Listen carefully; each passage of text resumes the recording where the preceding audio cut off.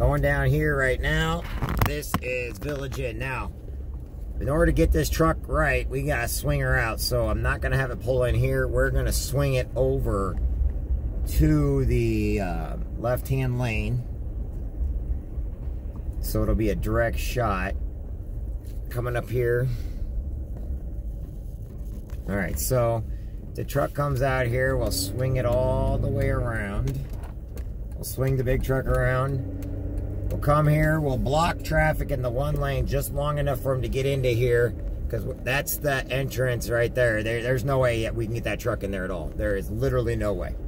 It's too big. It's actually bigger than the thing, so no. Okay, the truck's too big. So we're gonna swing him over here.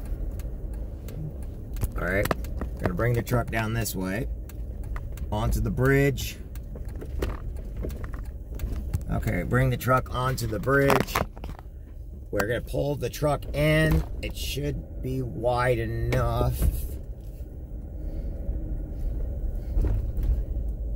If we come all the way out here.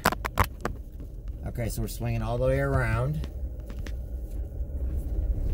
And then if we can get them to come right there. This is where all these trucks are. And we get it all right there.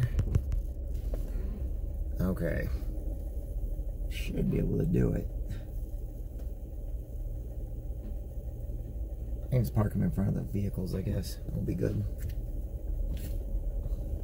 Vehicles or not, they should be all good. Okay, we're good right there.